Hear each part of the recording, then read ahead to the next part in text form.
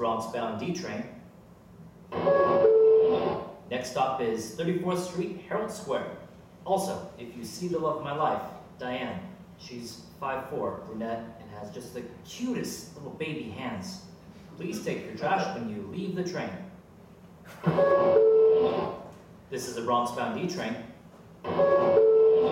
Diane, you're on this train, I know I'm a selfish lover, but tell me, would a selfish lover cry during intercourse? You know who's not on this train? Diane's new steady, Ted. Ted drives a Honda Fit so he doesn't have to take the subway. And he's in a Sublime cover band. I can learn reggae bass too. Please watch your step as you exit the train.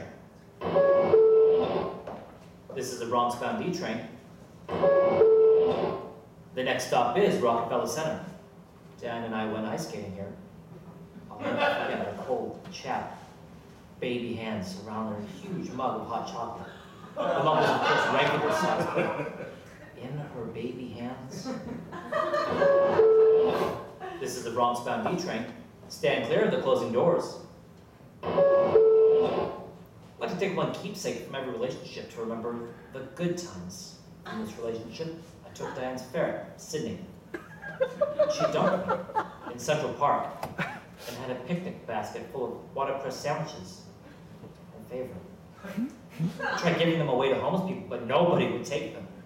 I ended up putting them in a cab to Yankee Stadium. I have a lot of free time now, so I learned some reggae bass.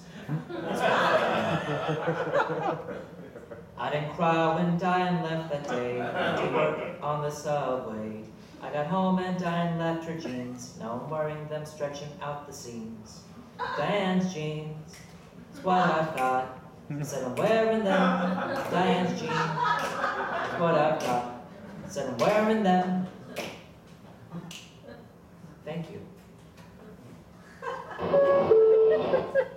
This is the Bronx-bound D train. Stand clear of the closing doors. You know, Diane and I talked about children. She said I wasn't ready. When I stole the child from that park, who was the one that called the cops? Not me. Set bar on the fair. He's extremely agitated right now. He's gnawing on my shoulder. Please watch your step as you exit the train. This is the Bronx-bound D train. I followed Ted home yesterday. He might be good at reggae bass, but he's no Superman. I watched him sleep, I didn't see what was so special. Except for a sleep apnea mask. I could easily get one of those. Yep. I don't know if we'll ever forget Diane. She lives on the Upper East Side now. Ladies and gentlemen, change of plans. We're being rerouted to Lexington Avenue towards the Upper East Side. Next stop, 86th Street. We're gonna get those baby hands back. Oh!